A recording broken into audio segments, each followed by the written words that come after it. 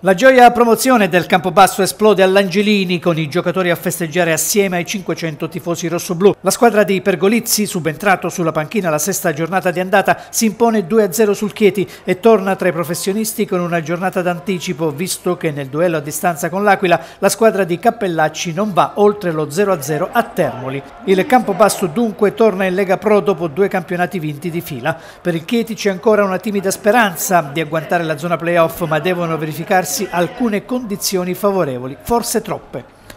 Luisa non può contare sullo squalificato Salvatore e l'infortunato Conson. 4-4-2 il sistema di gioco scelto con Cucciniello avanzato a centrocampo e in fase di possesso palla a dar manforte al tandem d'attacco Mercuri-Fall. Pergolizzi, che alla squadra al completo risponde con il 3-5-2, in avanti Dinardo Romero che hanno deciso l'incontro, arbitra Andrea Terribile di Bassano del Grappa. Campobasso subito col piede sull'acceleratore, primi dieci minuti in cui costruisce due clamorose palle gol. Al sesto tracciante di Parisi al lato di un soffio. Due minuti dopo Laziz salva sulla linea su colpo di testa di Gonzales spintosi in avanti.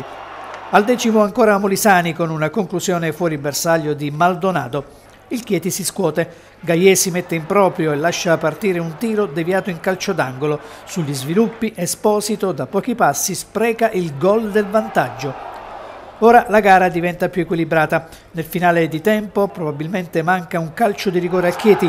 Bonacchi interviene così su un traversone dalla destra. L'arbitro fa continuare tra le proteste dell'Angelini. L'intervento falloso sembra piuttosto netto. Con le immagini di Alberto Capo passiamo alla ripresa. Chieti subito pericoloso, punizione di Castellano, la sfera arriva a Forgione che colpisce a volo, la palla attraversa l'area senza trovare deviazioni amiche. Al sesto ospiti sfortunati, il fendente del neoentrato Lombari colpisce in pieno la traversa proprio sotto lo spicchio di stadio dove ci sono i tifosi rossoblù. Al sedicesimo il campo basso la sblocca. L'azione parte da Gonzales, Romero anticipa tutti e insacca alle spalle di Serra. Da qui in avanti tanti cambi. Al ventiseiesimo intervento di Serra su conclusione di Dinardo. Il bomber molisano fa centro al quarantesimo, tredicesima rete in campionato per l'ex Vastese. La gara è in ghiaccio.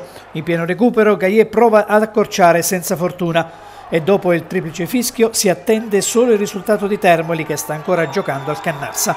Quando lo 0-0 diventa ufficiale, tutti a far festa